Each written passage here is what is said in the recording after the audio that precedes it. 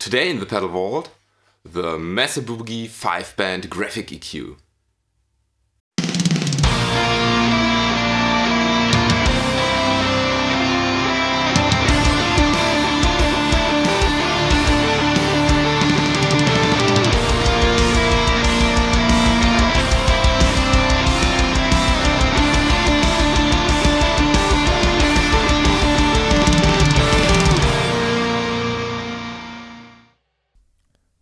So this is the Mesa Boogie 5-band graphical EQ and actually I hope that it's basically a Mark IV EQ in a pedal size, but I fear it isn't.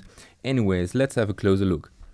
We have two control knobs and this 5-band EQ. We have an input level so that you can adjust different guitars or the FX send on your amp and the output level that lets you set the overall output of the pedal. We then have the five EQ bands that are centered around 80 Hz, 240, 750, 2.2K and 6.6K. And we have this nice handlebar that's so convenient you can just grab it and take it to grocery shopping or whatever you want to like. So I have set the input level so that it matches my output from my reamping box, so it basically had unity gain, and let's have a closer look at the EQ curve. It smoothens the highs just slightly. Now the output.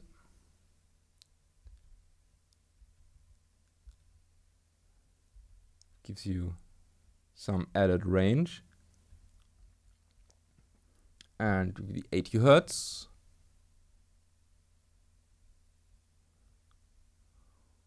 Rather subtle. Shelf boost and cut, very broad Q. Okay, 2.40. Seems to be here, it's 2.50, 2.40, okay.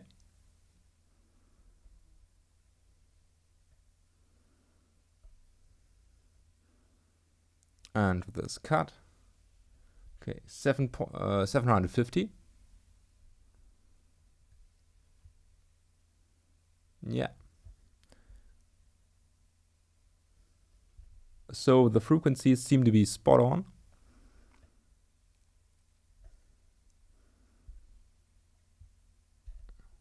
Two point two K.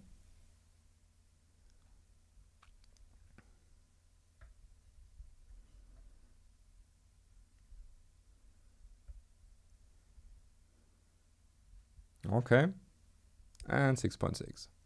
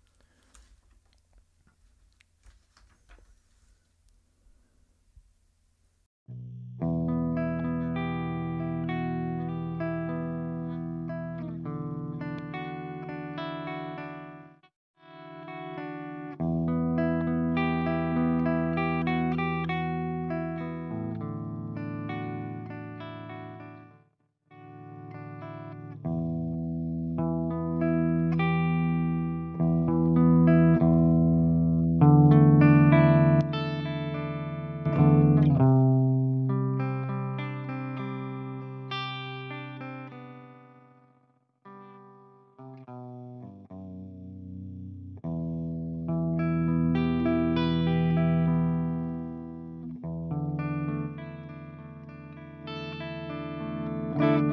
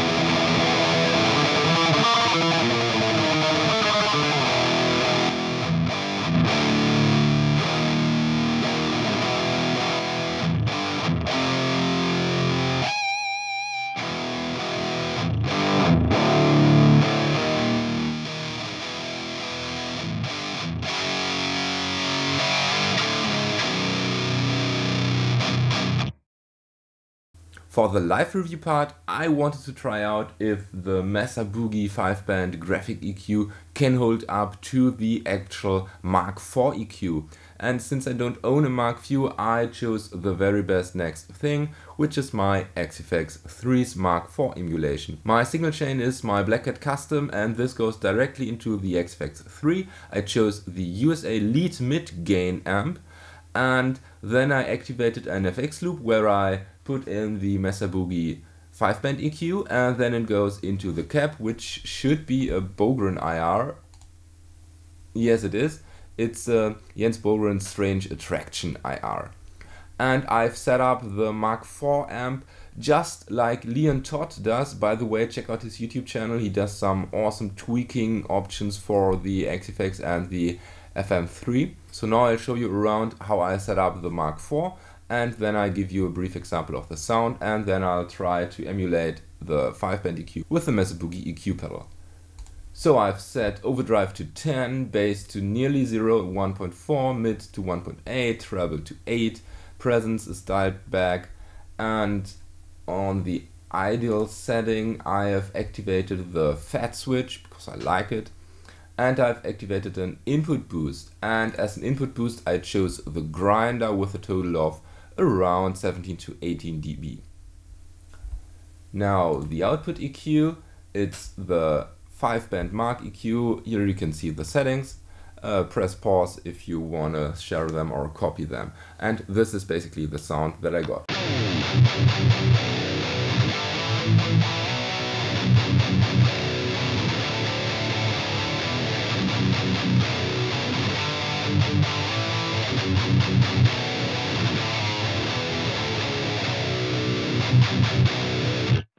So I think it's a really cool distorted sound. However, you have to remind yourself it doesn't work well with an HM2 pedal if you're into this kind of sound. It's just a standalone type of thing.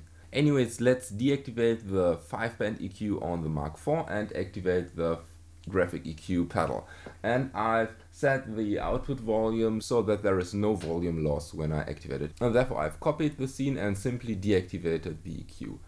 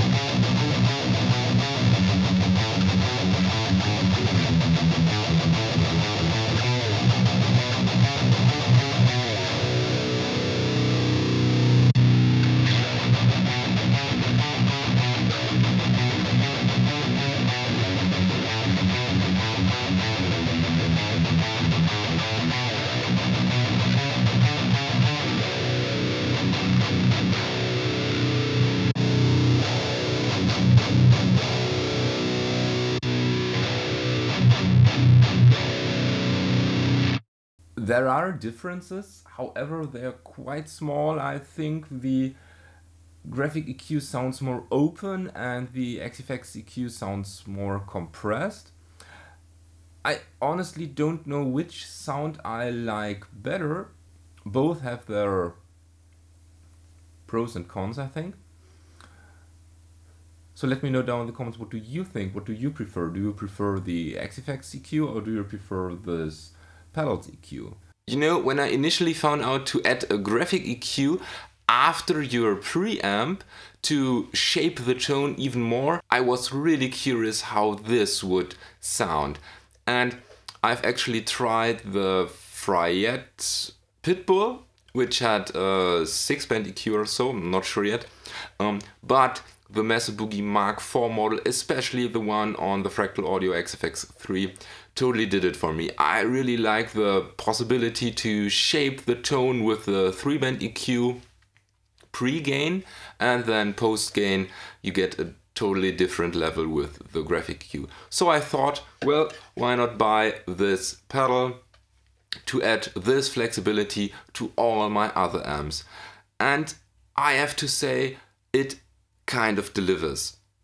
I so first things first, I don't really like it in front of an amp, regardless if it's clean or dirty. Just doesn't work for me.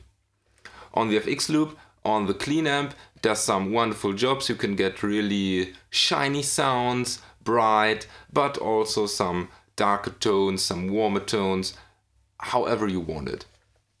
After the distorted amp, it adds whole new flexibility, although I think you have to combine this pedal with your actually 3-band EQ or 4-band EQ if you have an amp with 4-band EQ. Um, because it needs some tweaking here and there. Therefore, in the uh, audio playthrough, I didn't really focus on shaping the sound because I have my pre-dial tone and I just go from there. Um, so in the live review part, I tried to mimic the 5-band EQ sound of the original Mark IV emulation. It kind of went well. I got a similar sound. It's not the exact same sound. It would have been the icing on the cake if this pedal actually sounded close or identical to my emulation but it didn't and I don't care. I can still tweak it to my liking, but I highly recommend this pedal or well any other pedal with a graphic EQ to try into your FX loop.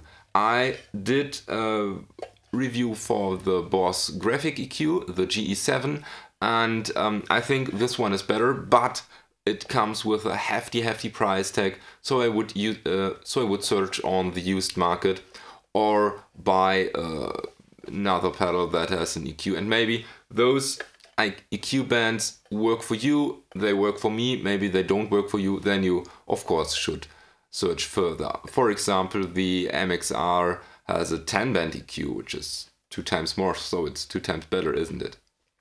Anyways, let me know down in the comments what do you think about the Mesa Boogie 5-band EQ or what do you think about EQ pedals in FX loops in general. Just write a comment down in the comment section. And as always, thank you for watching, don't forget to subscribe, may the force be with you and have a nice day.